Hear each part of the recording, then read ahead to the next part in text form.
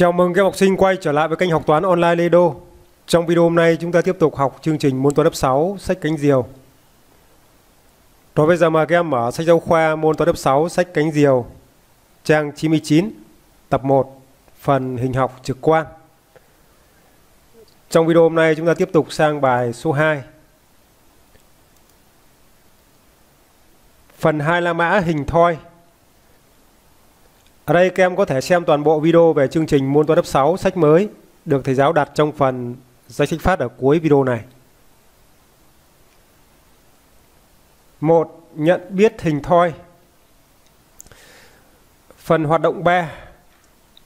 Với hình thoi ABCD, ABCD ở hình 15. Các em thực hiện các hoạt động sau.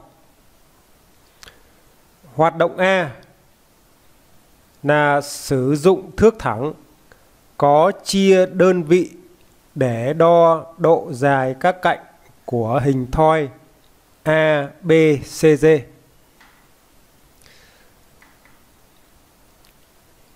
Rồi bây giờ chúng ta cùng sử dụng thước thẳng để đo độ dài các cạnh của hình thoi A, B, C, D. Các em đo độ dài cạnh AB, BC, CG và GA. E. Xem bốn cạnh của hình thoi có bằng nhau hay không. Ở đây để chính xác thì chúng ta đo và chúng ta đổi ra đơn vị là mm.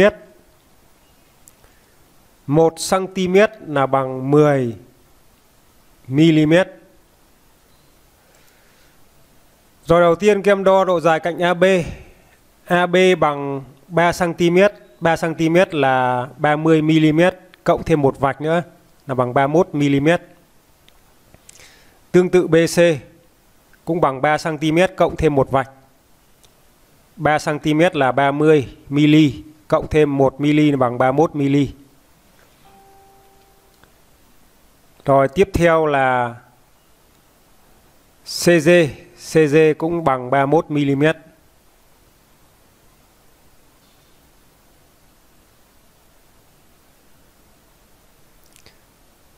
Rồi ZA ZA cũng bằng 31 mm.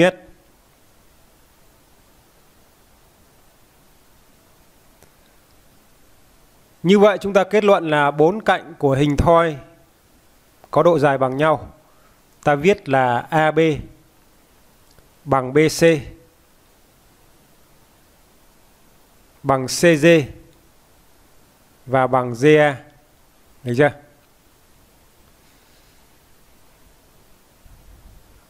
Rồi tiếp theo là các em sang câu B. Quan sát xem các cạnh đối AB và CG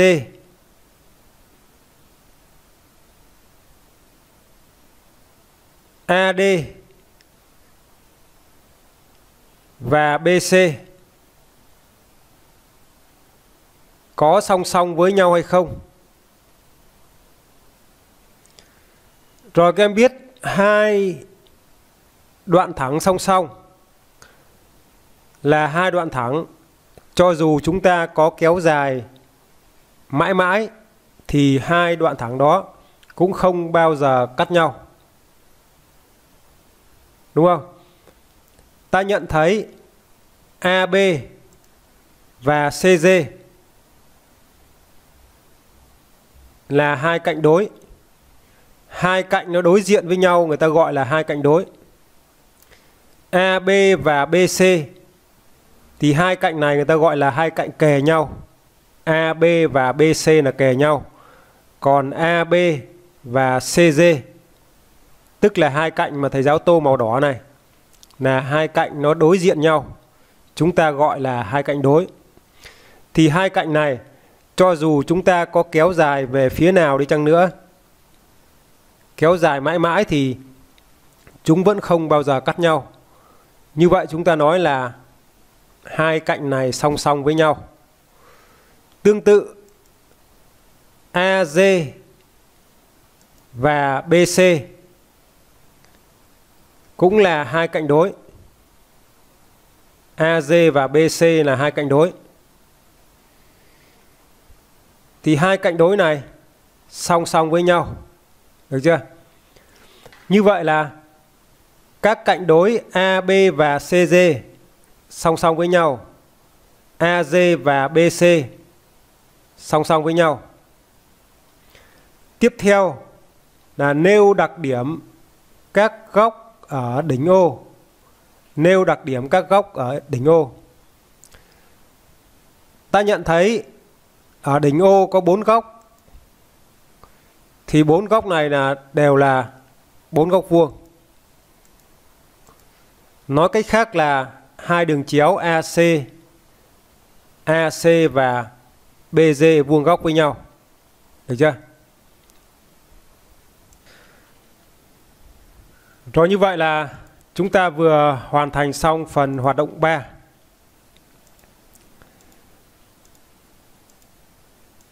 Như vậy là đối với hình thoi ABCD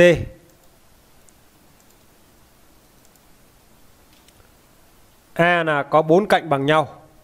Chúng ta vừa đo được là bốn cạnh bằng nhau.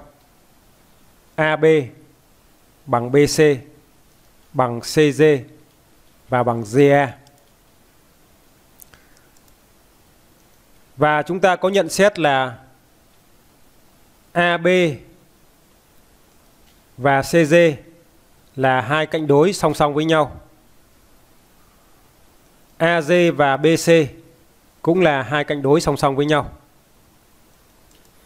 C là các góc ở đỉnh O. Các góc ở đỉnh O là các góc vuông. Nói cách khác là hai đường chéo AC và BG vuông góc với nhau.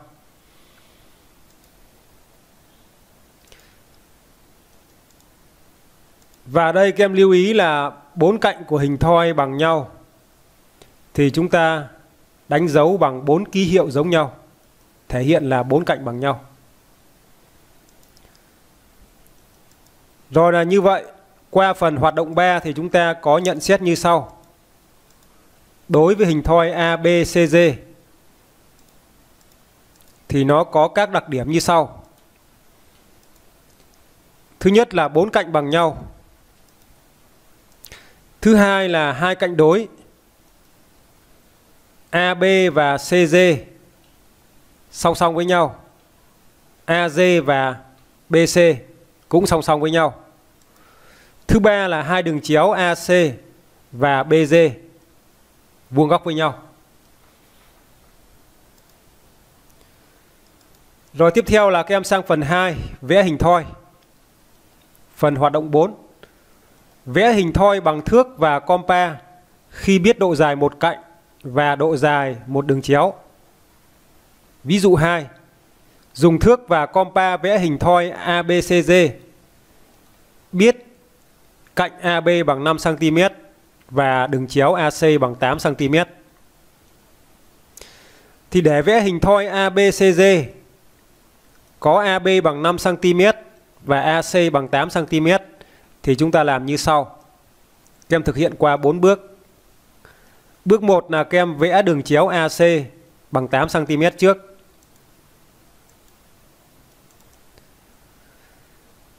Rồi, bước 2. Trên đường chéo AC mà các em vừa vẽ, bắt đầu từ điểm A.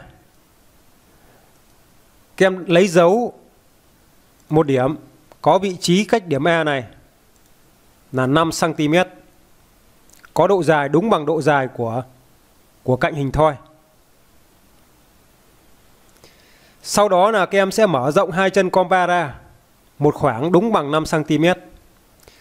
Chân cố định đặt trùng với điểm E, chân xoay đặt trùng với điểm mà các em vừa lấy dấu. Sau đó là các em vẽ một phần hình tròn tâm E bán kính là 5 cm. Sang bước 3 thì bắt đầu từ điểm C trên đoạn thẳng AC. Các em sẽ lấy một điểm, các em đánh lấy dấu một điểm. Điểm này cách điểm C một khoảng là 5 cm.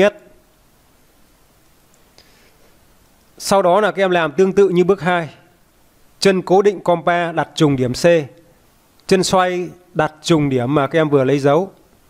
Sau đó là các em vẽ một phần hình tròn tâm C bán kính là 5 cm. Thì hai phần hình tròn mà các em vừa vẽ được ở bước 2 và bước 3 nó cắt nhau tại hai điểm. Chúng ta đặt tên cho hai điểm này là B và D. Sang bước 4 thì các em chỉ việc nối A với A với B, A với D, B với C và C với D thì chúng ta được hình thoi là A, B, C, D. Được chưa? Và cụ thể thì các em xem các bước thực hành như sau.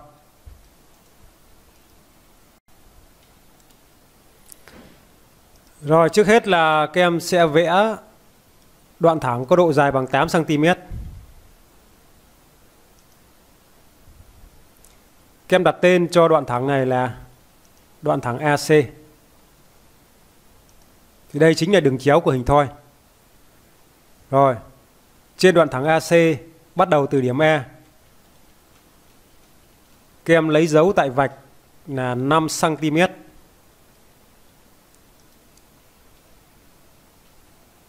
Bắt đầu từ điểm E Trên thước em lấy dấu một, vạch là 5 cm. Thì đây chính là độ dài cạnh của hình thoi. Bây giờ các em mở rộng hai chân compa ra một khoảng, đúng bằng 5 cm. Từ điểm A đến điểm lấy dấu. Được chưa? Sau đó là chúng ta sẽ vẽ một phần hình tròn tâm A. Bán kính là 5 cm.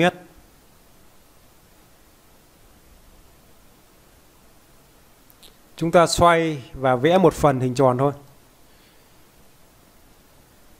Chân cố định các em đặt trùng với điểm A và chân xoay các em đặt trùng với điểm mà các em vừa lấy dấu.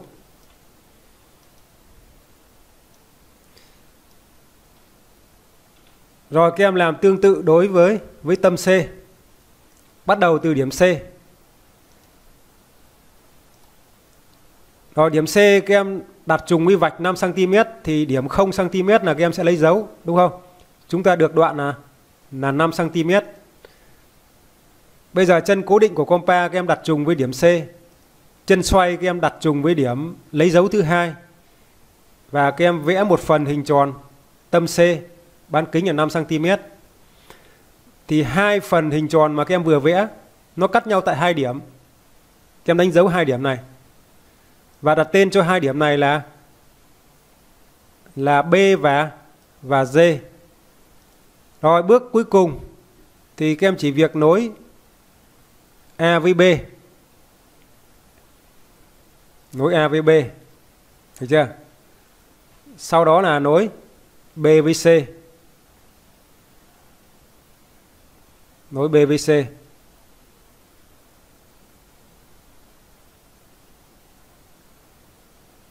Tiếp theo là nối C với với D.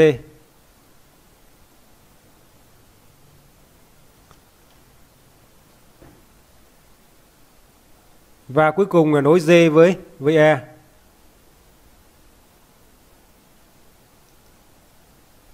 Như vậy là chúng ta vừa vẽ được hình thoi ABCD khi biết độ dài đường chéo và độ dài một cạnh. Rồi tiếp theo là các em sang phần luyện tập và vận dụng 2. Dùng thước và compa vẽ hình thoi MNPQ. Biết MN bằng 6 cm và MP bằng 10 cm. Thì MN ở đây chính là cạnh của hình thoi và MP chính là là đường chéo của hình thoi, một đường chéo của hình thoi. Thì bằng cách làm tương tự thì chúng ta sẽ vẽ hình thoi MNPQ như sau.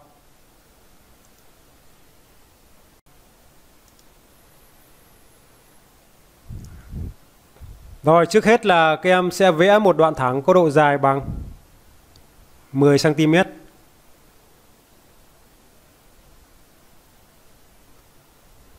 Các em đặt tên cho đoạn thẳng này là đoạn thẳng MP, tức là đường chéo, một đường chéo của hình thoi. Rồi trên đoạn thẳng MP mà các em vừa vẽ bắt đầu từ điểm M. Các em lấy dấu một vạch tại vạch 6 cm. Bây giờ các em cũng mở rộng chân compa ra một khoảng là 6 cm chân cố định các em đặt trùng với điểm M và chân xoay các em đặt trùng với điểm mà các em vừa lấy dấu. Bây giờ các em vẽ một phần hình tròn tâm M bán kính 6 cm. Rồi tiếp theo là bắt đầu từ điểm P. Điểm P các em đặt trùng với vạch 6 cm. Thì tại vạch 0 cm chúng ta lấy dấu điểm thứ hai. Như vậy là chúng ta được một đoạn thẳng có độ dài bằng 6 cm. Rồi bây giờ chân cố định compa các em đặt trùng với điểm P, chân xoay các em đặt trùng với điểm mà các em vừa lấy dấu, điểm thứ hai mà các em vừa lấy dấu. Các em vẽ một phần hình tròn tâm P bán kính là 6 cm. Lúc này hai phần hình tròn cắt nhau tại hai điểm, các em đặt tên cho hai điểm này là hai điểm NQ. Rồi bây giờ các em nối M với N. Nối M với N. N với P.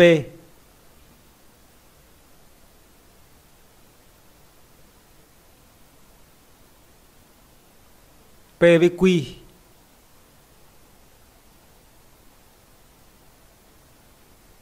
Q với M.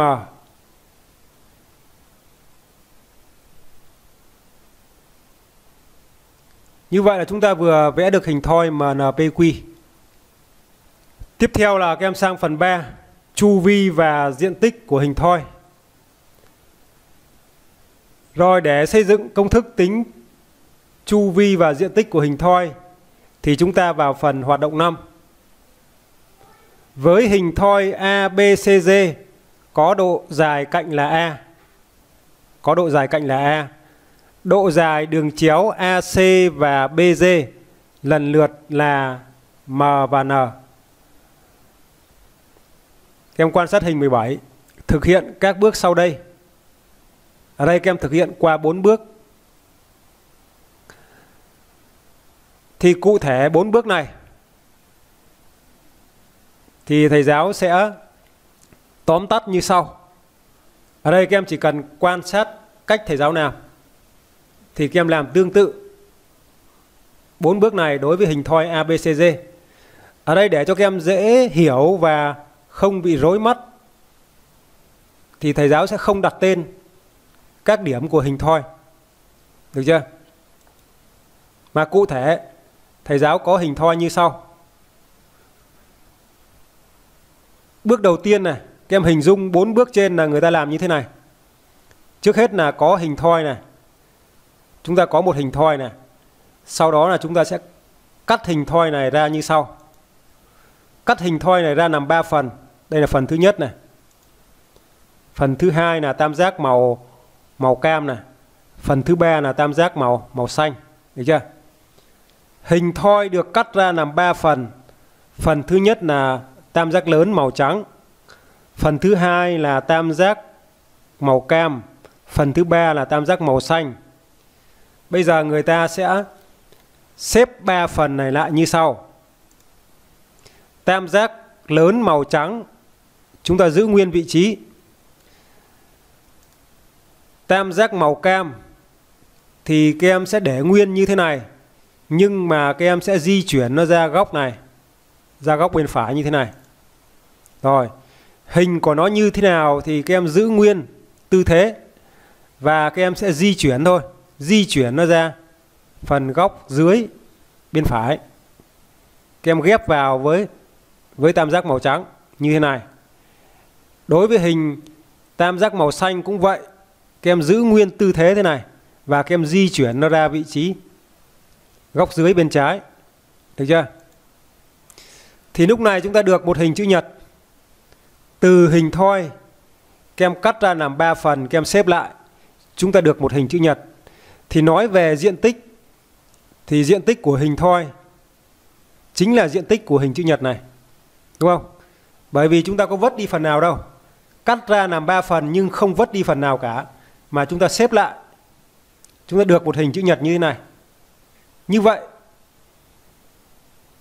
là diện tích của hình thoi chính là diện tích của hình chữ nhật này. Bây giờ các em chỉ cần tính diện tích của hình chữ nhật này là được. Được chưa? Rồi hình thoi có cạnh là A. Hình thoi có cạnh là A. Ở đây thầy giáo không đặt tên mà thầy giáo gọi như thế này cho các em dễ hình dung, khỏi bị rối. Đường chéo màu đỏ này. Đường chéo màu đỏ này có độ dài là m đi. Thì nửa đường chéo sẽ có độ dài là m trên 2. Được chưa? Nửa đường chéo sẽ có độ dài là m trên 2. Tức là một cạnh cạnh dưới này, cạnh góc vuông dưới của hình tam giác vuông màu xanh sẽ có độ dài là m trên 2. Tức là chỗ này là m trên 2 này. Đúng không? Cái phần này này. Phần này chính là phần này là m trên 2, được chưa? Rồi. Nửa đường chéo còn lại cũng có độ dài là m trên 2. Thì phần này chính là cạnh của tam giác màu cam. Nó chính là ở đây, chính là cái phần này. Thì phần này có đúng là m trên 2 không? Được chưa? Rồi tiếp theo đối với đường chéo thứ hai, thầy giáo tô màu xanh cho các em dễ hình dung. Thầy giáo gọi độ dài đường chéo thứ hai này là n. Thì nửa độ dài đường chéo sẽ là n trên 2. Được chưa? n trên 2. Thì cái phần này, cái phần này là cạnh thứ hai của hình tam giác vuông màu xanh. Cũng là cạnh thứ hai của hình tam giác vuông màu màu cam. Được chưa? Đây, cạnh góc vuông thứ hai của hình tam giác màu xanh chính là phần này, là n trên 2. Và đồng thời nó cũng là cạnh góc vuông thứ hai của hình tam giác màu cam. Tức là phần này cũng là n trên 2. Từ đó chúng ta rút ra nhận xét là hình chữ nhật mà chúng ta vừa xếp xong, nó có chiều rộng là n trên 2 và chiều dài là m trên 2 cộng m trên 2.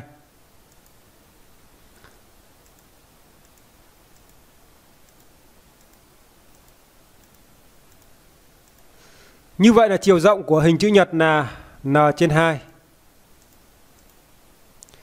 Chiều dài của hình chữ nhật là m trên 2 cộng m trên 2 m trên 2 cộng m trên 2 thì nó chính là là m. Được chưa? Chính là m. Chính là m. Như vậy là diện tích của hình chữ nhật là chiều dài nhân chiều rộng thôi. m nhân với, chiều dài là m là nhân với chiều rộng là nhân với n trên 2 này. Các em viết gọn lại là m nhân n chia cho cho 2. Thì diện tích của hình chữ nhật cũng chính là diện tích của hình thoi ban đầu. Đúng không? Chính là diện tích của hình thoi ban đầu. Bởi vì hình thoi ban đầu các em cắt ra, các em xếp lại thành hình chữ nhật.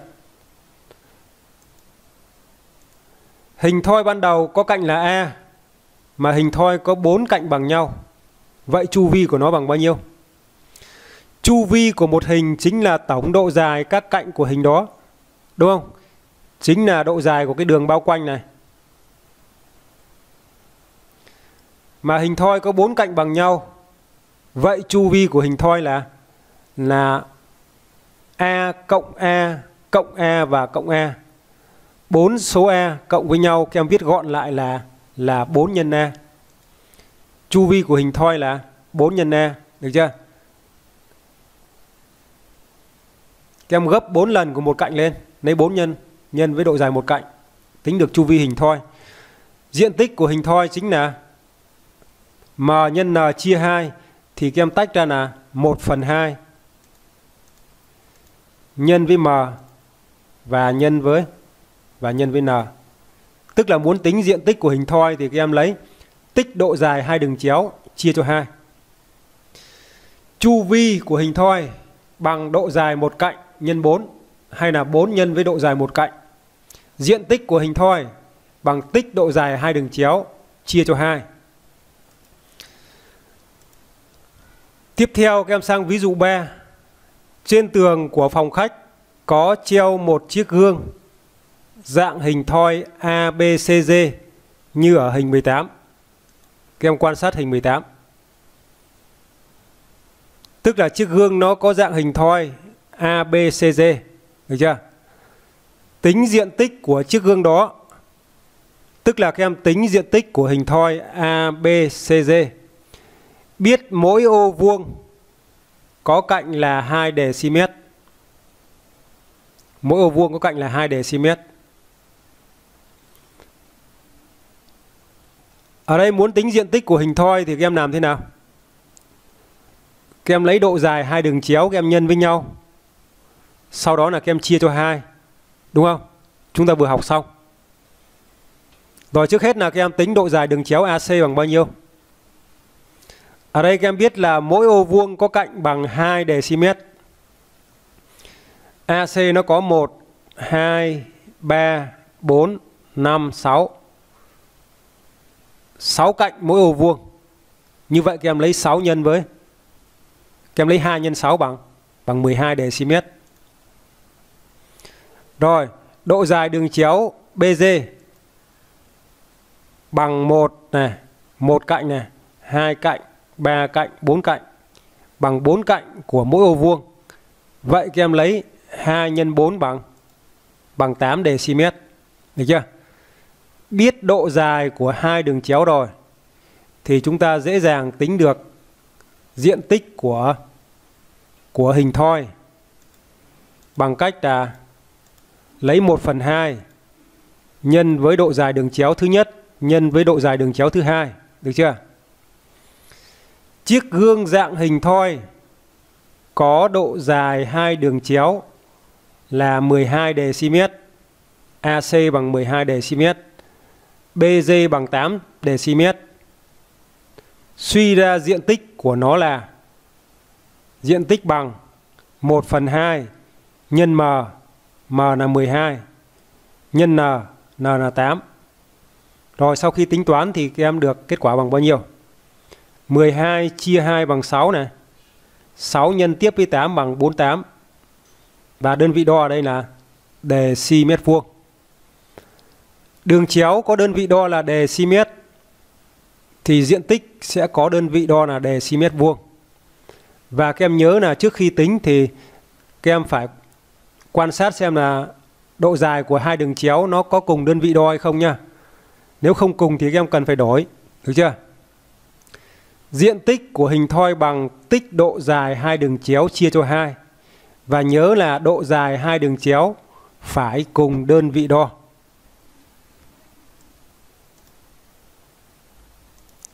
Rồi tiếp theo là các em sang phần luyện tập và vận dụng 3. Bác Hưng uốn một dây thép thành móc treo đồ có dạng hình thoi với độ dài cạnh bằng 30 cm. Bác Hưng cần bao nhiêu cm dây thép để làm móc treo đồ? Tức là bác Hưng phải cần một đoạn dây thép có độ dài bằng bao nhiêu cm để làm móc treo đồ. Đây móc có dạng hình thoi, có cạnh bằng 30 cm. Như vậy muốn biết bác Hưng cần bao nhiêu cm dây cần bao nhiêu cm dây thép để làm móc treo đầu này, thì chúng ta phải tính được tổng độ dài của của cái đường màu đỏ này. Tức là các em tính chu vi của của cái hình thoi này. Muốn tính chu vi của hình thoi thì các em lấy độ dài của một cạnh các em nhân với 4. Hay nói cách khác là lấy 4 nhân với độ dài một cạnh. Cụ thể ở đây là các em lấy 30 nhân 4. Được chưa? Chu vi bằng 4 nhân với độ dài một cạnh. Bác Hưng cần số cm dây thép để làm móc treo là 4 nhân với 30 bằng 120. Cạnh có đơn vị đo là cm thì thì chu vi sẽ có đơn vị đo là là cm. Vậy bác Hưng cần 120 cm dây thép để làm móc treo móc treo đồ. Rồi như vậy là video hôm nay xin được kết thúc ở đây. Cảm ơn các em đã dành thời gian để theo dõi video. Đừng quên ủng hộ kênh Học toán online Ledo bằng cách nhấn vào nút đăng ký và bấm chuông để nhận được những video mới nhất. Tôi xin chào và hẹn gặp lại các em trong các video kế tiếp. Chúc các em học tốt.